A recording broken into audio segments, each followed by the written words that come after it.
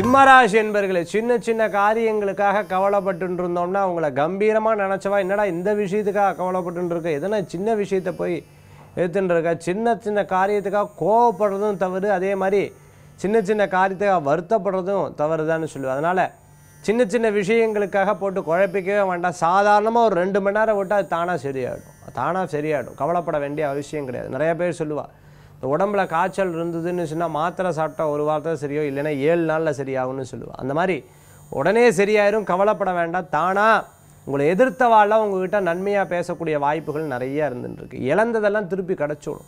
பொருளாதாரத்தில் நல்ல முன்னேற்றம் வந்துடுவேல் நல்ல ஜெயிச்சு வந்துடுவேல் எதிர்காலத்தில். நல்ல முன்னேற்றங்கள் இருக்கும் நல்ல ஜெயிச்சு வருவேல். பதவி பேர் புகழ் அந்தஸ்து நிச்சயமாக கிடைக்கிறதுக்கு உண்டான வாய்ப்புகள் உண்டு. மக நட்சத்திரத்தில் இருக்கிறவாளுக்கு புதிய முயற்சிகள் ஒரு நாள் தவிர்த்துக்கிறது நல்லது.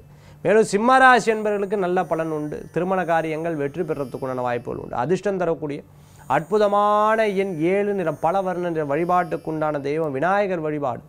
விநாயகர் வழிபாடு வெற்றி தரும் அற்புத வழிபாடு.